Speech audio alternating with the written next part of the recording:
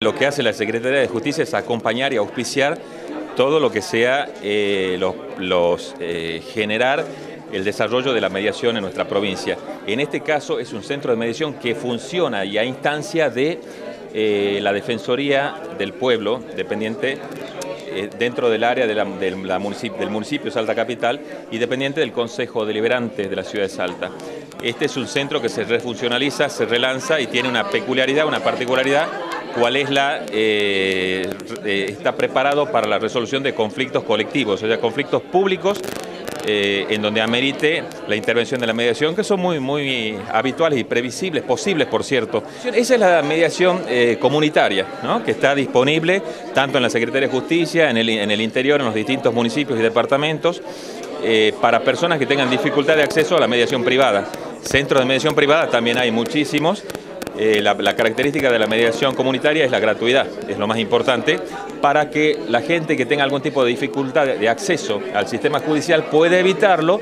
si se pudiese llegar a una solución pacífica del conflicto recurriendo a un centro de mediación. Es, muy, es, es una herramienta muy útil, eh, está en pleno desarrollo en estos años y podría redundar en grandes beneficios para las personas, como decía anteriormente, en particular los que tienen alguna dificultad de acceso al sistema, porque se ahorran tiempo, dinero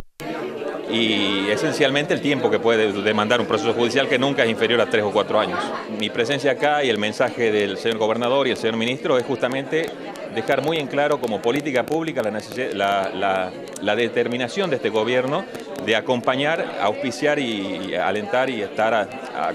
al lado de todo lo que sea desarrollar y potenciar cada vez más la mediación en la provincia de Salta. Si bien este no es un centro que dependa directamente de la Subsecretaría de Métodos Participativos de la Secretaría de Justicia, eh, es importante acompañarlo, estar presente y colaborar en todo lo que se pueda,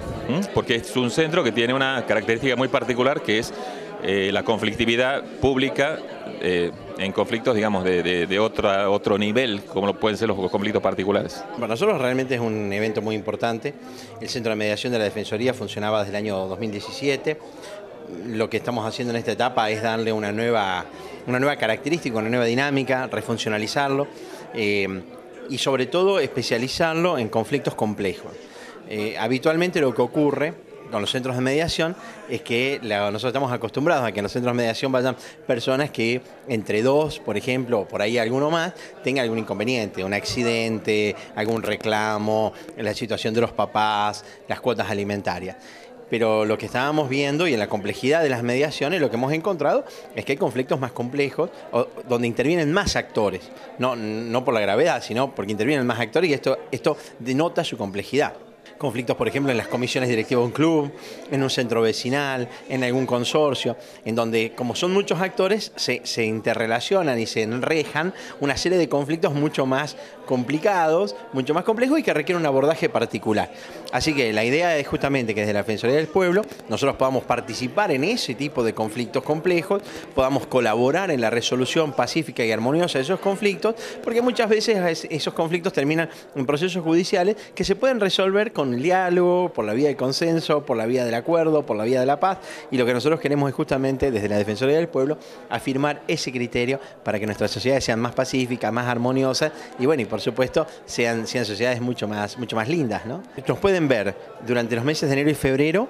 en, eh, de 9 a 13 en 25 de mayo 703. Y a partir de marzo ya vamos a tener un horario más extendido, bueno, ya una vez que tengamos todo el personal eh, restituyéndose de sus, de sus licencias anuales. Así que bueno, 25 de mayo 703 es el edificio de la Defensoría del Pueblo, donde nos pueden ver por este y otros temas. Progresivamente le estamos dando esta, finalidad a la, a la Defensoría y bueno, y un poco como dice el gobernador de la provincia, orientarnos hacia ponernos a donde están los problemas de la gente y caminar en soluciones conjuntas.